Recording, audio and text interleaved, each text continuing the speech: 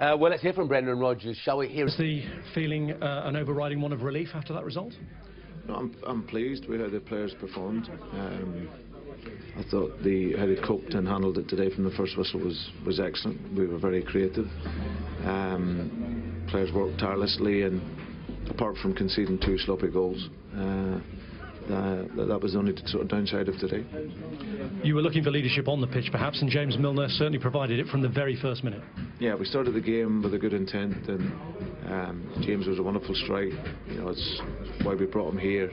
He's a wonderful player, got great qualities, and obviously has leadership to to help us get that victory and sort of galvanise the team. So uh, it's an excellent strike. Delighted for him because he's a, a top class professional.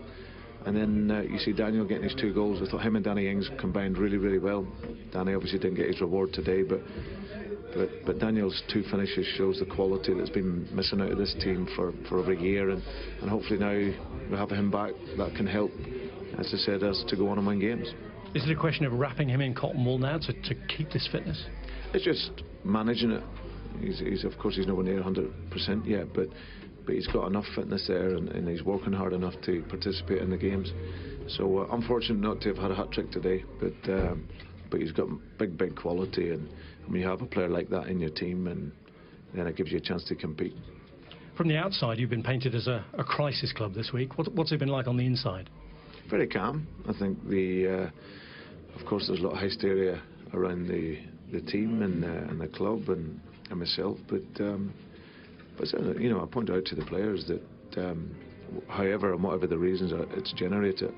You know, after in all competitions, we've we've lost less games than Manchester City, uh, and Chelsea, um, and and Arsenal. Then we, as I said, we've we've lost two games over the course of the piece. I think what we need to probably a little bit better turning those sort of draws into wins.